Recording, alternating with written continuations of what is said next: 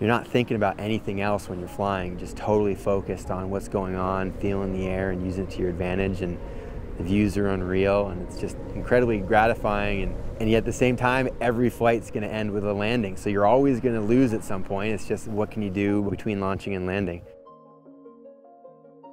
During the flights, I'm concentrated only on this moment, and this is the beauty of the paragliding. The ground fades away and everything gets real small and just the experience of flying, you know. Man's been thinking about flying since Da Vinci. It's just a really special experience being up in the air.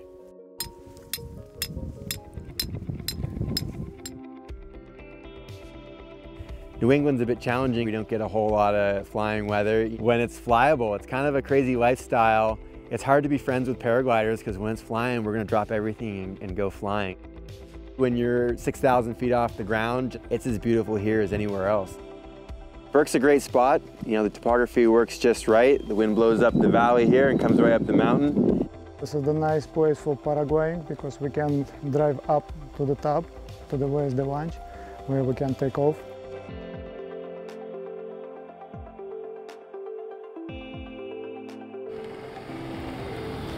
A paraglider is an ultralight aircraft. It's got no rigid structure. It's what's called a ram air airfoil. When we pull it into the wind, it fills up with air and it creates lift. Uh, we can stay up for hours at a time. The future of paragliding is tricky because it's a niche little sport and so we're constantly working to train the next generation of pilots. I mean, that's what my school is all about is, is having a gaggle to fly with. It's like you fly like birds, let's say this way. It's no engine, you like follow the wind, follow the thermic and enjoy the process. Let's try. Okay.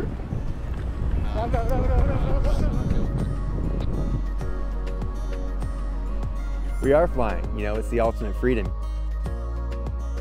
Here I'm at uh, 4,000 feet.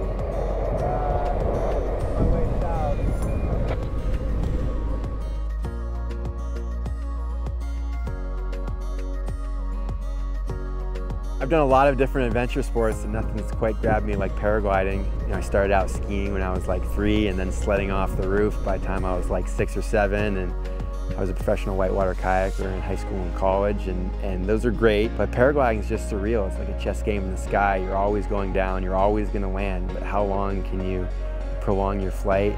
Is that four hours on this flight? Yeah.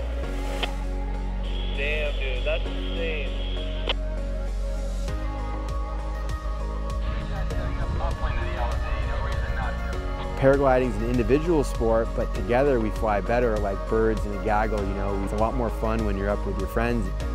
landing down, step on top, on sliding down. People surely have been dreaming about flying for thousands of years, and here we are, just like a bird, soaring with the birds. Shit, people are landing. Hopefully someone will pick you up soon.